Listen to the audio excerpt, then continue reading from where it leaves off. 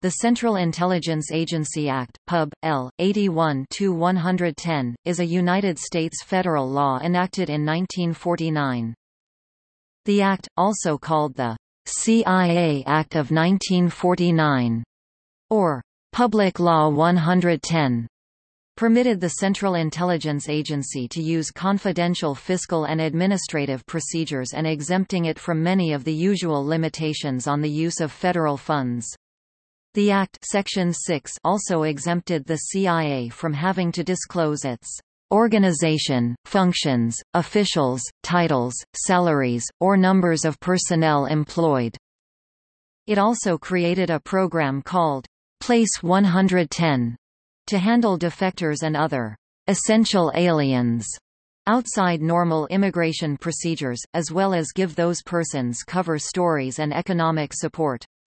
It was passed by Congress May 27. The Act is codified at 50 U.S.C. Section 403A.